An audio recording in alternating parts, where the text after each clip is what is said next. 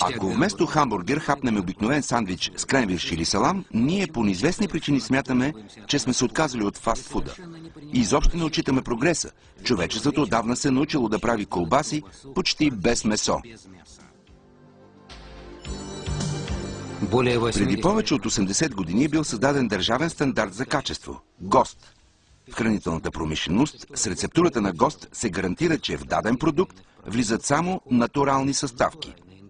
Например, в рецептите за колбаси категорично се е забранявало използването на хранителни добавки и соев протеин. Днес месопреработвателните комбинати не са длъжни да спазват разработения преди много години ГОСТ. Те могат да произвеждат така наречените колбаси ПТУ по технически условия, но качеството вече не е гарантирано. Повечето ефтини колбаси, тези, които се произвеждат по технически условия, на практика не съдържат месо. В тях има овкусители, вещества, увеличаващи теглото, соев концентрат, т.е. това е на практика соева маса с натриев глутамат, в която са добавени карагинини, увеличаващи крайния обем на продукта.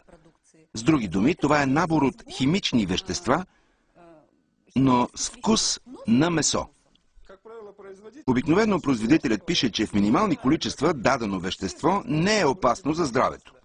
Но ако ядем тези колбаси днес, утре, година, две или три, този поток от минимални вещества се превръща в килограми. Нали разбирате, че когато човек стане вече на 35-40 години, той започва да страда точно от това, че в тялото му се е натрупала шлака от вещества, които са непознати за организма. Ето от какво са направени, например, кренвиршите в полиетиленова обвивка. 25% соев протеин, 15% птиче месо, 7% просто месо, 5% брашно нишесте, 3% вкусители. И 45% от местния продукт представлява емулсия, смлени и сварени на каша кожа, вътрешности и сухожилия.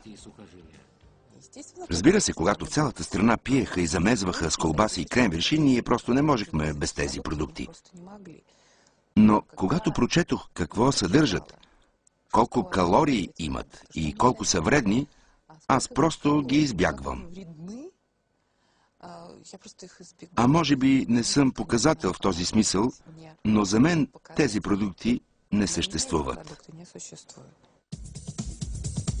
Много месопреработвателни комбинати обеззаразяват разваленото месо и непродадените колбаси и отново ги преработват.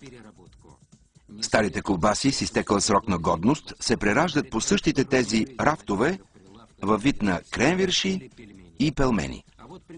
Ето един пример за това как търговците на хранителни добавки помагат на производителите на колбаси да увеличат количеството кайма в продукта. Внимание! Ако искате да спестите пари, ние ще намалим загубите ви при производството на полупушен колбас с 10%. Няма нужда от нова рецептура. Само добавяте 400 грама фибре деблю на 100 кг кайма и веднага ще получите резултат. Увеличение на готовия продукт с 8 до 10%. Така твърдят производителите на тази добавка. Тя не се забелязва в месото, не хруска по зъбите и няма характерен вкус. За сметка на това увеличава теглото на продукта и му придава апетитен вид. Основната й съставка е висококачествената негенно модифицирана целулоза и отцветител кармин. В местните продукти, най-вече в колбасните изделия, основната вредна съставка са нитратите, които се добавят за запазване на привлекателния външен вид. Нитратите, попадайки в стомаха, се съединяват с амините, съдържащи се в месото, и в стомаха се получават канцерогенните нитрозамини. Или казано по-просто, получаваме химически съединения, способни да предизвикат развитие на злокачествен тумор. Препоръчвам на всички хора, които пазаруват в супермаркетите, първо да гледат етикетите. Дали няма канцерогенни добавки, защото не може да се излекува, предпази или спаси човек, който всеки дневно поглъща канцерогенни. Той няма да умре бързо, но при него започват генетични промени, защото това са малки дози отрова. И ето ви стимулация на онкологичните заболявания на черния дроб, панкреаса, стомаха, лимфната система и жизненно важните отделителни системи на организма. Описанието на състава на продуктите върху етикетите започва от известните на всички думи захар, масло, вода, оцет, но завършва обикновено с една или няколко букви Е, последвани от цифри. Какво означават те, повечето даже не са се замислили. Но без тези Е ние няма да ядем дори най-привлекателната на вид храна. Под този индекс, съкръщени от думата Европа, се крият хранителни добавки. За справка, хранителните добавки са химични вещества, които се добавят в хранителните продукти с цел подобряване на вкуса, повишаване на хранителната стойност или предотвратяване развалата на продукта. Между другото, хранителните добавки не са нови изобретения. Още в древността човекът е открил, че природният натриев хлорид или обикновената сол придава на месото, рибата и зеленчуците съвсем различен вкус. Днес целият свят са строго забранени три химични добавки. Те са Е121, цитрусов червен оцветител 2, Е123, оцветител амарант и Е240, консервант формалдехид. Само до преди няколко години тази добавка се използваше съвсем легално.